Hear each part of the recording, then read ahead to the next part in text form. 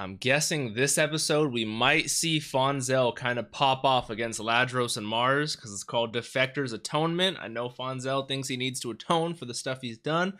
I am so excited.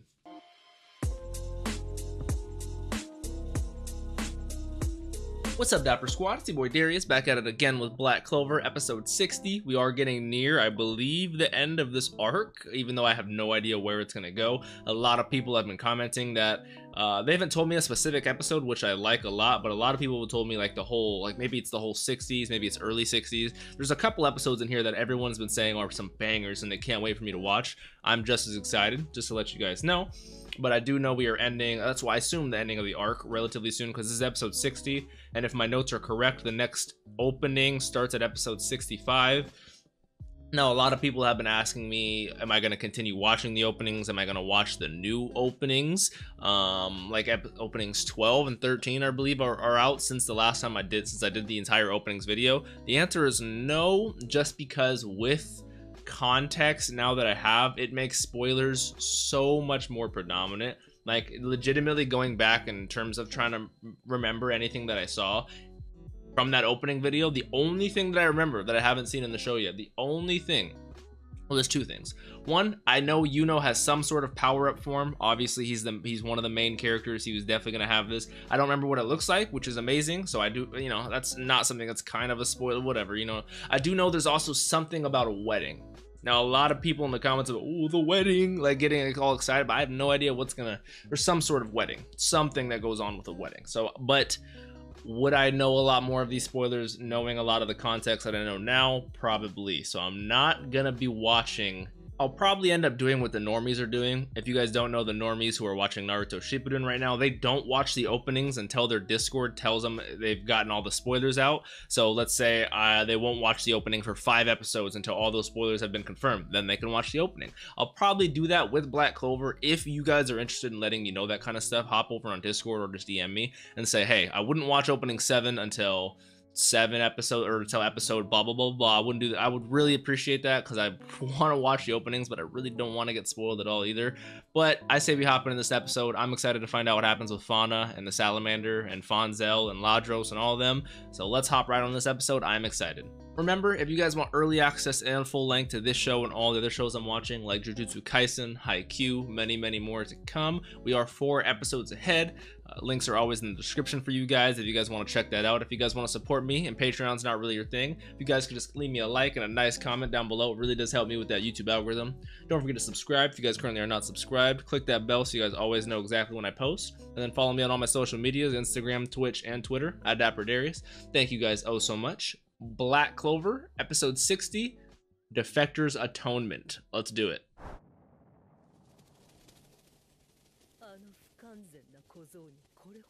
Imperfect little brat. She loves saying imperfect. But no, we... It looks like we did do it. It looks like Fana, at least Salamander, has been taken down. She's just sitting there watching the whole time. How is Fonzel gonna do this? So Ladros doesn't recognize him, but Mars definitely would. So he does.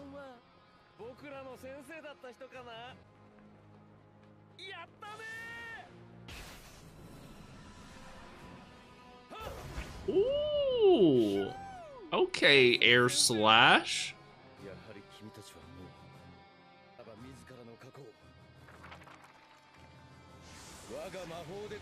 Defector's Atonement. Exactly what I assumed. He looks so badass, I won't lie. He wants to be such a good teacher. He wants to be like...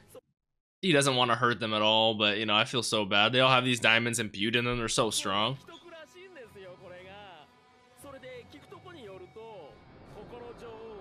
So their king is really sick, and the queen of witches has lived Okay, that actually makes sense for this invasion. Makes a lot of sense.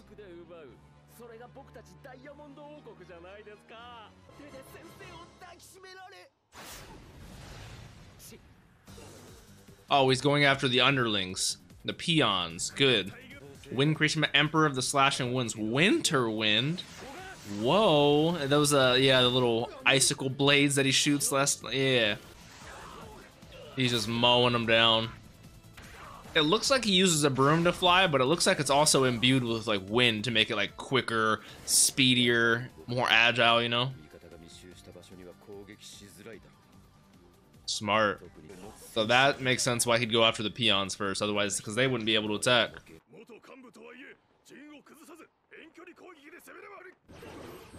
Oh, yep, and here comes the Golem Barrage from... Oh, and the... Okay, Wishes. Damn.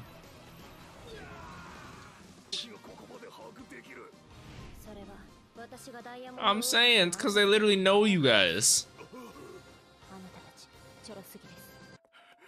Ooh, flashback.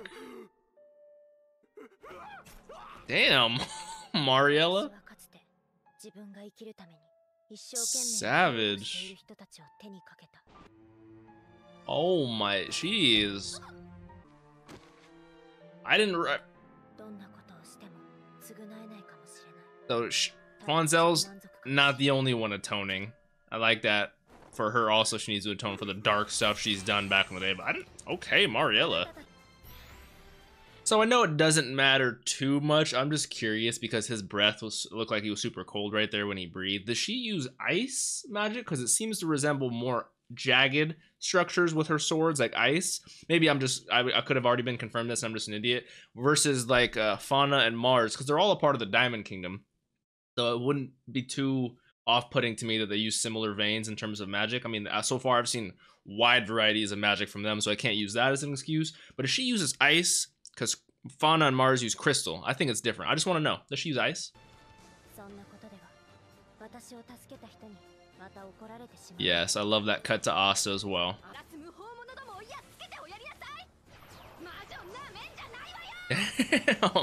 Oh my god!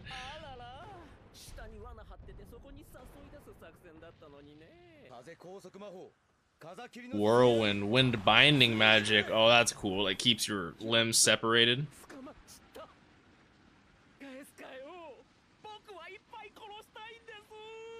Little deranged.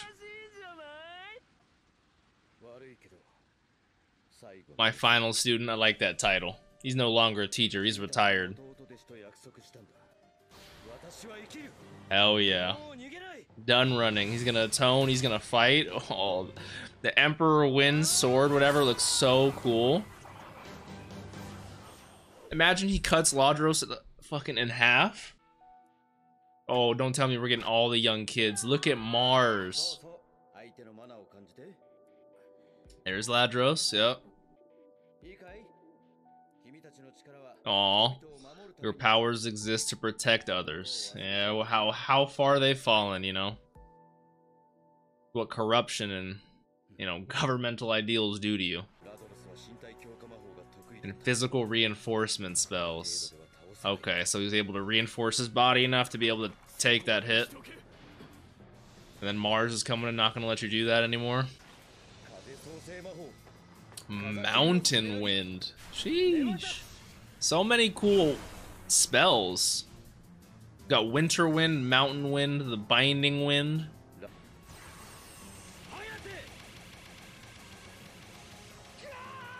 That Gale Thrust. Who didn't have a magic attribute? Yeah. Really? So he has to take care of him. Yep, he has to take care of him right now. He's gonna smile.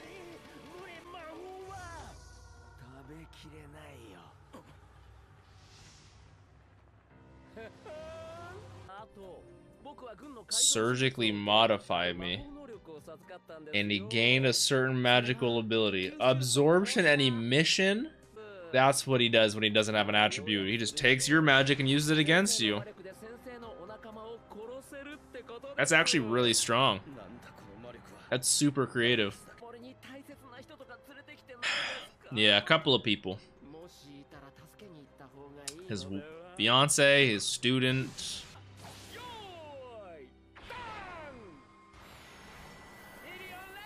Million lasers. He does do an emission type spell where it goes crazy. It's a barrage of destruction.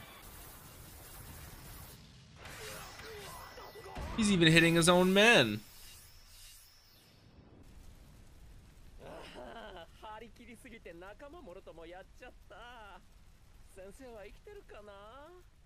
Ah, So he was able to use his magic to at least. Oh, Dominante definitely would have gotten hit by that too.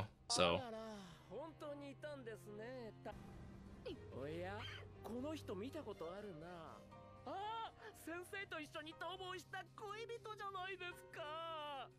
Who is gonna come in and save the day here?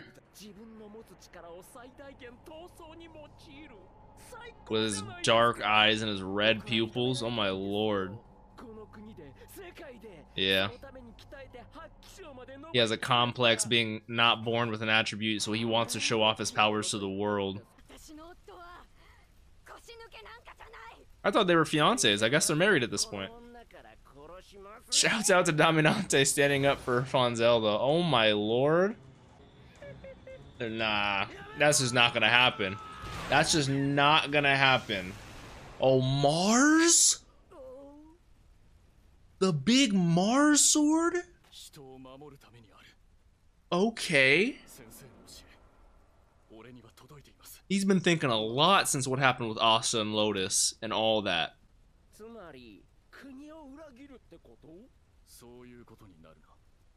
Wow.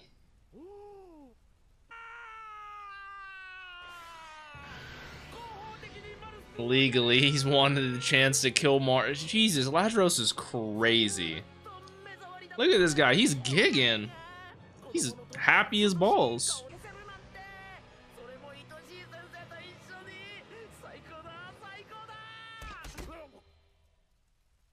Oh, Mariella. Wow, he can even eat that. He literally is like dissolving it.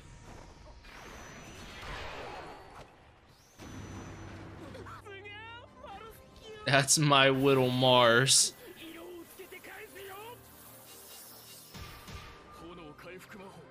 Phoenix robe. That's so dope. Throwback to when he used that. I could see that. With spirit magic or even the queen of witches magic. Okay, possible. Anti-magic. Wait till you get the full scope. Oh, he's like, he's like, Asta's here?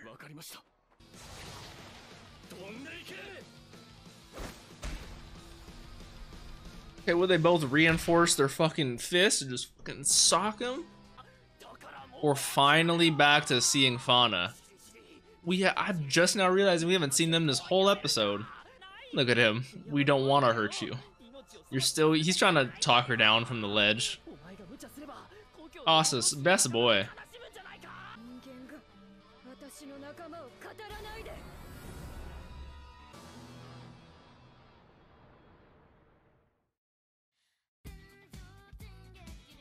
Was that episode not four minutes long? Are you serious? What the hell? So I like the title of this episode when it comes to atonement and feeling bad for what you've done when it comes to both Fanzell and Mariella because they both had to do what they had to do in order to survive and progress throughout life. But then they got tired of it and had to go against that and that was even stronger or even more difficult I should say because you know there's the right path and then there's the easy path and the right path usually is not the easy path so it's like I understand it, and they both went ham.